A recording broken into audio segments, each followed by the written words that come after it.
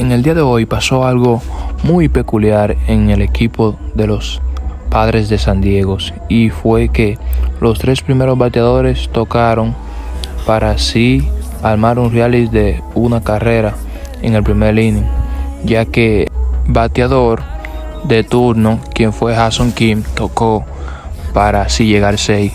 De segundo vino Chris quien también llegó safe. Y por tercero tocó Fernando Tatis Jr., que avanzó los dos corredores, aunque fue puesto out. Después vino Juan Soto, quien pegó línea por el center field, quien capturó. Eh, José Siri capturó la bola para así poner el out, pero eso no detuvo al japonés a que anotara y entrara en carrera, a lo que los jugadores de Tampa se sentían como confundidos, porque es poco habitual de que veamos que un equipo ponga a sus tres bateadores a tocar en un partido empezando el juego. Eh, no sé qué sucedió aquí, pero dime, ¿qué piensas tú sobre esta épica jugada?